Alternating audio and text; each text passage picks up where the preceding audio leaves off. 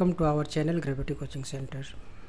And into two parts so that 5 times uh, one part and 11 times the other are together 207 227 so first of all we let the two parts be. Let the two parts b x and 37 minus x.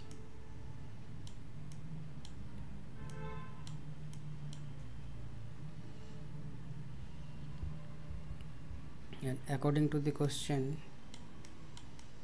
according to the questions the 5 times the first one so 5x plus 11 times of the other part. So other part is a 37 minus x equal to so the their sum equal to 227 and uh, implies that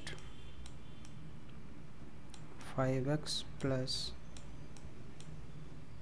407 x minus 11x equal to 227 and 11 minus 5 equal to minus 6x equal to 227 minus 407 implies that minus 6x equal to minus 180 so minus minus cancel. And 6 3 is 18 so the x equal to 30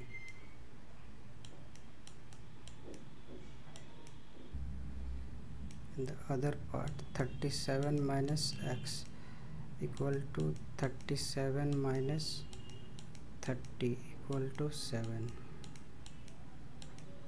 so 30 and 7 which is the required answer. So option D is the correct answer